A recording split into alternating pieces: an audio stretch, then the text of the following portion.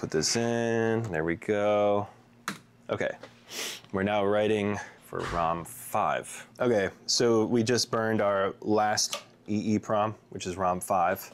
So we have one, two, three, and four. Those ones don't matter, and then five. I don't really know if this one matters or not, if it's in this spot, but it's always in this spot. So we're just gonna put it in that spot. Uh, we're gonna apply a nice looking label to them so it's not just written with a marker. Oh yeah, the last thing that we need to discuss, and we don't actually have to do anything on this particular unit, but there's these jumpers here on the H3000.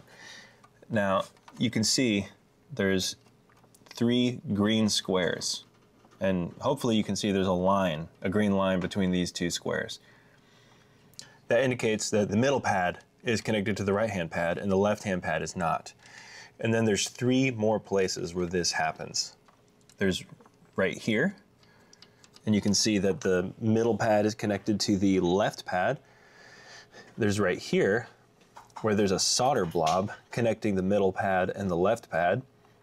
And then down here, where you can see there's some exposed uh, metal where um, the middle pad is connected to the left pad.